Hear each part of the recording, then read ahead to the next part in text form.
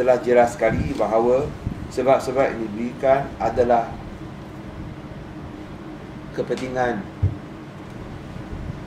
uh, individu dan juga ke pribadi khususnya ketidakpuasan pri, secara pribadi beliau terhadap apa yang berlaku dalam Island Golf Properties Sdn Berhad.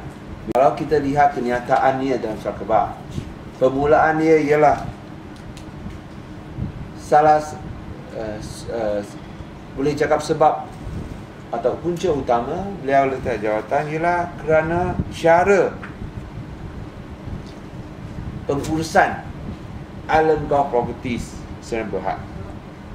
Yang beliau mendakwa adalah bukti bahawa saya bertindak dengan detektor lah. Itu dia dia punya alasan.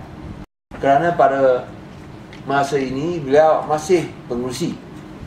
Kerana PDC atau Golf Properties tidak menghantar sebarang surat kepada beliau bahawa beliau telah dipecat sebagai pengurusi. Saya telah simak dengan PDC dan PDC memaklumkan kepada saya tidak ada sebarang surat dihantarkan bahawa ada mana-mana pengarah termasuk Zahrin telah dipecat So sekarang adalah kedudukan macam ni. Zarin dilantik sebagai pengurusi dan ahli lembaga pengarah ahli lembaga property kerana beliau adalah ahli parlimen PKR iaitu penyokong Pakatan Rakyat. Sekarang beliau meletak jawatan dalam semua jawatan parti PKR. Tetapi saya tidak nampak beliau meletak jawatan sebagai pengurusi dan ahli lembaga pengarah lembaga property. Dan ini jelas menunjukkan bahawa semua ini adalah untuk kepentingan pribadi dan individu beliau.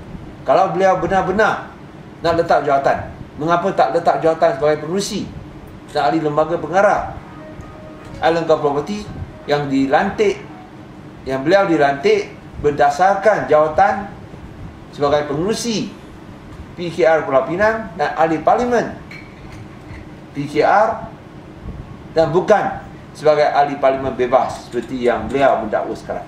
Sebabnya, dia ada bagi sebabnya tapi saya tak dapat setuju. Saya tak dapat setuju. Dan lebih-lebih lagi syarikat ini ditubuhkan 2 bulan sebelum tender dipanggil. Tender dipanggil bulan 12. Awal 12. Awal bulan 12 2008.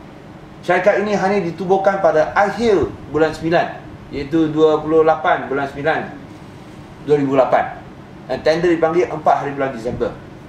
Tengok tak sampai 2 bulan dia masuk tender. Jelas menunjukkan syarikat ini ditubuhkan hanya untuk membina tender ini. So bila kita panggil tender terbuka kita lihat ada banyak yang berminat daripada syarikat besar-besar di mana mereka bukanlah syarikat RM2 pasti bukan syarikat RM2 syarikat lebih besar daripada itu. Dan saya baru tahu selepas tender terbuka, saya baru tahu, oh, itulah tender bernilai lebih 40 juta ringgit. Sebelum ni saya ingat mungkin berapa juta saja. Tapi selepas tender terbuka, kita baru tahu lebih 40 juta ringgit untuk 10 tahun. Dan saya rasa itulah kebaikan sistem tender terbuka.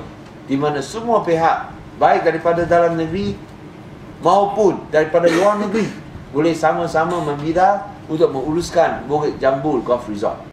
Sebab saya tak pernah sebut dia ada hubungan dengan sesiapa. Sebab saya hanya cakap bahawa beliau sokong pemberian tender kepada syarikat RM2. Di mana saya cakap saya tak boleh setuju.